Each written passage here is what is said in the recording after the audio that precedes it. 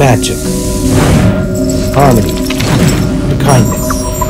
These were the ingredients chosen to make the perfect heroes. But Davis Michaels decided to add an extra ingredient to the concoction, dragon magic.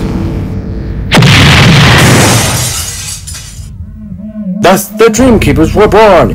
Using their altered powers and strength, Adia, Alice Michaels, has dedicated her life along with friends to save Dreamtopia from darkness and the forces of evil!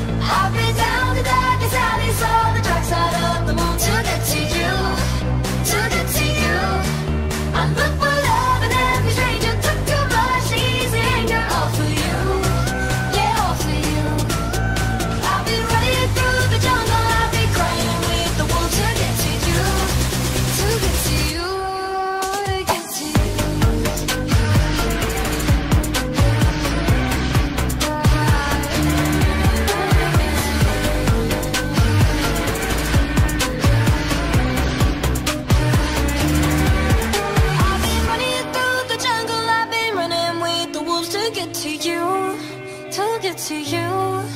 I've been down the darkest alleys, saw the dark side of the moon to get to you, to get to you. I look for love and every stranger took too much easy anger all for you, yeah, all for you. I've been running through the jungle, I've been crying with the wolves to get to you, to get to you.